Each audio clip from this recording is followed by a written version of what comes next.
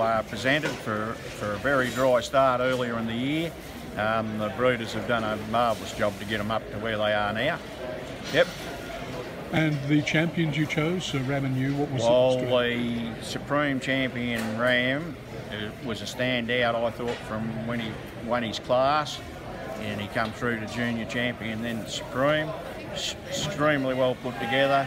And really, it didn't matter what way you looked at him, he was pretty much what we want in the Poll Dorset breed. He's full of meat, uh, very, very sound on his feet, good open head and alert, walk around his head up, and a good dense Dorset wool on him. Yeah, very, very good sheep all round. Yes.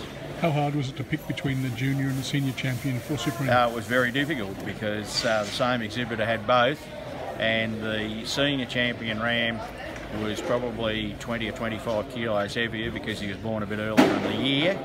Um, and earlier in the day, I probably would have said he'll take some beating for the champion, but uh, Junior was just so uh, well put together. I finished up having to go for him for the Supreme, but he's still a very good sheep, the senior champion ram.